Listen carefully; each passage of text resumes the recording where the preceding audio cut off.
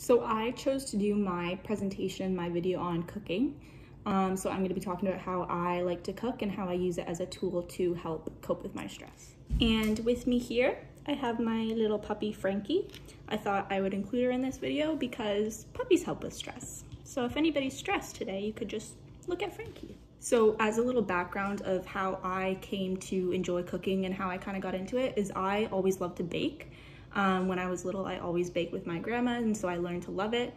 Um, and it's one of my favorite things because I love baking for my family and my friends. I've always loved being able to bake treats, whether it be like around Christmas time, do Christmas baking, or just any occasion for birthdays, whatever. And being able to kind of celebrate and eat it with my family or give it to my friends, eat it with them. I've just always really liked that. And I've never been as good of a cook as I am a baker. Um, but just recently, I've been getting more into cooking and practicing because that's kind of a more practical skill to have in life. So I've been wanting to improve my cooking skills. One of the main reasons that I've always loved baking and I'm starting to really enjoy cooking is because I find you really have to focus on that one task that you're doing. Because um, I find, like in my day to day life, my mind's always kind of wandering and I'm always thinking about a bunch of different things. But when I'm cooking, for example, I if I let my mind wander and if I get distracted, then I'll mess up my recipe. I also just really like cooking because I just think it's fun.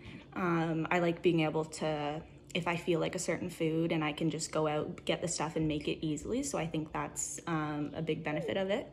And I also really like cooking for other people. So whether it's cooking dinner for my family, having it ready when my parents get home from work, or cooking for friends. I just think it's a nice way. You can cook what other people want, or you can try something new. Um, like I personally, I really like eating plant-based foods. I'm not vegetarian or anything. I do eat meat, but I like trying tofu and tempeh and stuff like that. Um, and my family's not really big into that, but when I do cook, I'll try and make a plant-based meal. And then, so that's something that my family would never make themselves, but when I make them, they end up enjoying it. Um, so I just like the flexibility that um, is there when you're doing the cooking. When I was doing research on cooking, one thing that I came across, which I didn't actually know, was that um, cooking engages your senses, which makes sense. I had just never really thought about it. Um, so it actually has the ability to activate memories, is one thing that I found. So the smell of a specific meal um, could remind you of something like a friend's house or your grandma's house, something that somebody used to make. So you're relating that to like a memory. Um, and then that, I mean, depending on the memory, but oftentimes when you're thinking of your grandma's house, it's going to be a good memory. So that's going to make you feel good. And I also came across um, an article about aromatherapy and cooking. So this is something that I'd never really thought about. Um, so it's just gave some examples of some household ingredients that you might have that you can incorporate into cooking. And it's um, shown to kind of improve things like sleep, uh, mood, stress relief, stuff like that. So two ingredients for stress relief were lavender and sage. So just incorporating that into any of the meals and the aroma that comes from the cooking can help to reduce your stress. And then I found that for sleep aid, uh, lavender as well, and also chamomile. And then for mood elevators, mint and basil are also really good for that. And I also found that some foods um, that link to stress relief are turkey, walnuts, sweet potatoes, almonds, spinach, and salmon. So I guess all of those foods, just eating them can help to reduce your stress. And one other big thing, because I know that a lot of people look at cooking as a chore, like if you go to school all day or if you go to work all day, you come home and the last thing you want to do is cook. Um, but cooking, if you look at it in a different perspective, it's actually a way to gain control in one specific area of your life. So, for example, if you have a stressful day at work or at school, um, you come home and you have the ability to control what you're cooking and control what you're eating. So, it's a good way to kind of give you that control back in your life. History on cooking was something that there wasn't a ton of information on when looking it up because cooking it's just it's one of those common sense things. We need food to survive, so it's kind of implied that a long, long time ago, people figured out how to cook. They figured out how to feed themselves. I did find one article about the history of cooking. So it said uh, that the exact origins of cooking are unknown, but at some point, a long, long time ago, early humans discovered fire and started using it to prepare their food and researchers have found what appears to be the remains of campfires made one and a half million years ago, um, which would have been made by the early human species. So that's when they figure that humans started to figure out you can cook over a fire. And the very first method of cooking uh, was roasting. So they would put like a fish or bird meat just on the end of a stick and just roast it over an open fire. And one thing that I also really like about cooking is that it doesn't have to be hard. You don't have to make super complex, um, fancy recipes. Like grilled cheese is cooking, making eggs is cooking, toast, stuff like that. Um, so there's so many different forms and different ways of cooking. Um, so it's kind of possible for everybody to do.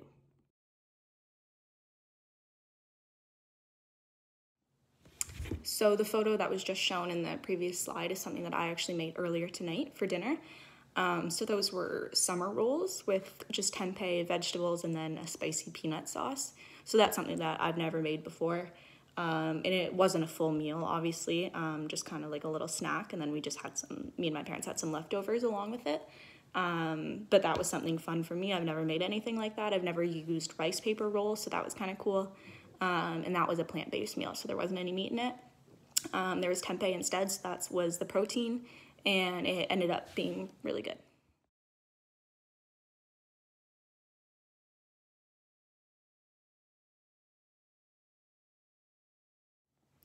That last picture there, that was a soup that I made a couple weeks ago. Um, that was my first time ever making soup. It was a really simple recipe. It didn't have much in it, just some vegetables, uh, chickpeas, and lentil pasta. There wasn't meat or anything um, and it was really good. So I think I'll probably make soup again in the future.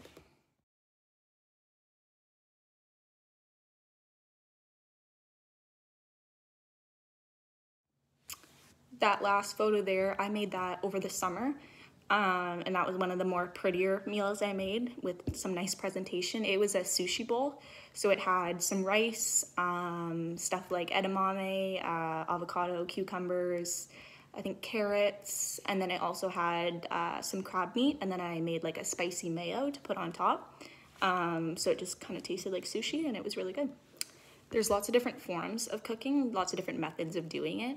So like I'd mentioned, the first form of cooking was roasting, um, back when they just roasted food over the fire. Um, but today there's lots more kinds. So there's baking, frying, grilling, steaming, poaching, simmering, broiling. Those are just a few. There's lots. Um, so yeah, there's just lots of different ways of doing it. Another great thing about cooking, um, in my opinion, is that it makes you more aware and more observant of what you're eating. So when you're doing the one cooking, you are looking at all the ingredients, you're putting it all together. Um, so it just makes you more aware of the food that you're putting into your body. And obviously, healthy eating is huge and very important um, for a healthy lifestyle. Um, not always important. Of course, you can eat unhealthy from time to time, but I just think it's nice being able to look at the food and it's kind of gives you more of an understanding of different foods and what they do to your body, the impacts, stuff like that. Another thing that came up in my research that I wanted to include was I saw a lot about cooking through the pandemic and how a lot of people have been cooking and baking a ton. Um, and a huge reason for this is people are stuck at home, they're bored, there's not much else to do. And also, a lot of people rely on going out to restaurants a couple days a week for food, which they can't do now that they're all closed. So people are being forced to cook. Um, and I think that kind of says a lot about what it can do for your mental health. Clearly, people are at home bored, have nothing to do. So that's kind of one thing that's always available to them is making themselves food. Um, I know personally, I did a lot of baking at the beginning of lockdown in the spring. Um, my sister did as well. She's never really been into baking or cooking, but she was baking bread and stuff like that, stuff we've never really made. Um, so that just kind of goes to show that it can help improve mental health and relieve stress and boredom, stuff like that. So it's definitely a good tool to have, I think. One thing that I've seen a lot of on my social media, and I think part of it is just because it's kind of trendy right now, is meal prepping, especially with like health and fitness, uh, meal prepping healthy meals for the week. So I was looking up um, some tips and recipes for beginners, people that just getting into cooking, some easy things. And a lot of the ones that showed up were meal prepping. Um, and I actually have done this before. I really like meal prepping where it's called like a one pan meal prep.